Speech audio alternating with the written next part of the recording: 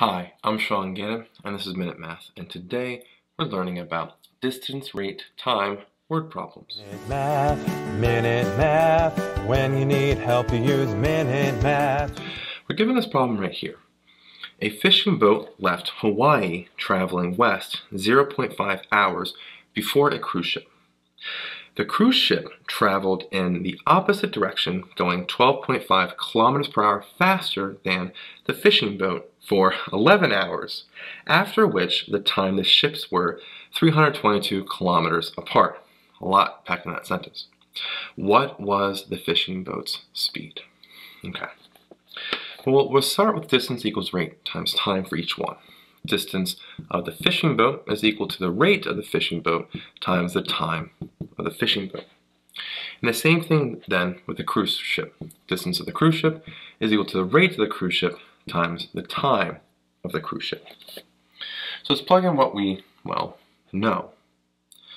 So the fishing boat, right, so uh, let's go down. The cruise ship left later, all right, 0.5 hours later, and traveled a total of 11 hours. So the time of the cruise ship is 11 hours.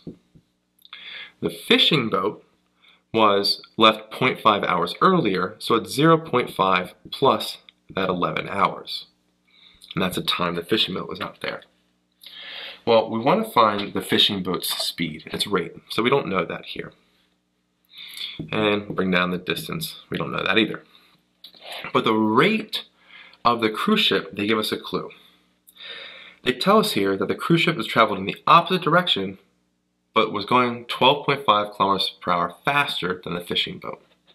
So the rate of the cruise ship can be written as 12.5 plus the rate of the fishing boat. And that's equal to d sub c. We're almost there.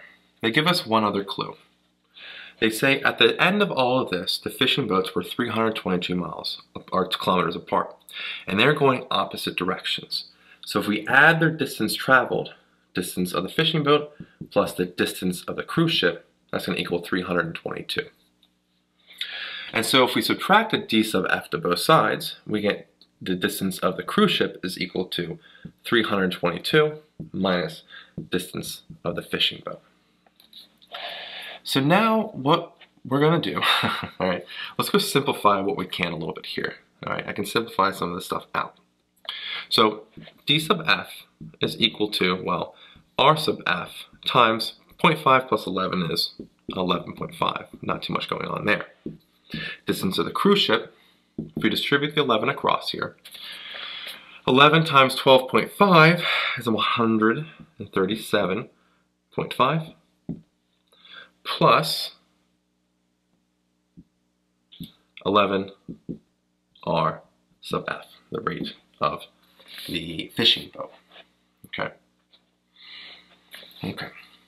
Well, we found d sub c is equal to 322 uh, minus d sub f.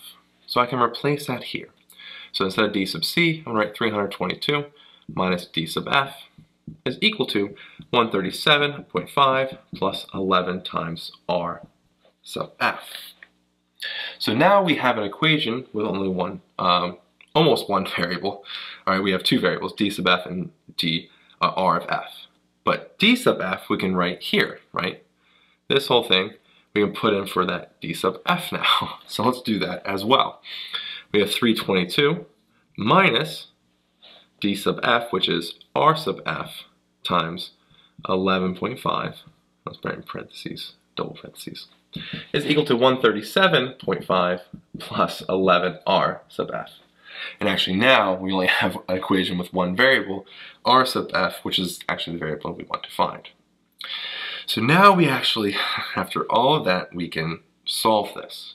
Okay, let's go clean this. I'm going to rewrite this a little bit. 322 minus, I'm going to put 11.5 first so it's clear, r sub f is equal to 137.5 plus 11 r sub f.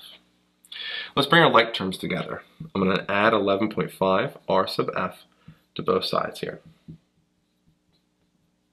And then I'll subtract a 137.5, put it to the other side. 32, or 322 minus 137.5 is a 184.5. These cancel, and these will cancel. And that's equal to 11 r sub f plus 11.5 r sub f is a 22.5 r sub f.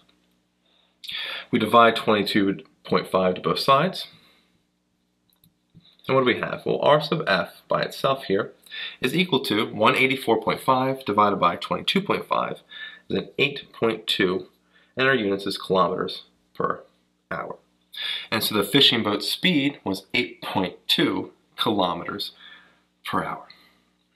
Hope this video was helpful, and if it was, please subscribe to this YouTube channel and like this video. This helps us make more free math lessons for you and for everyone else. So as always, thanks for watching. Minute Math, Minute Math. When you need help, you use Minute Math. Minute Math, Minute Math. When you need help, you use Minute Math. MinuteMathTutor.com.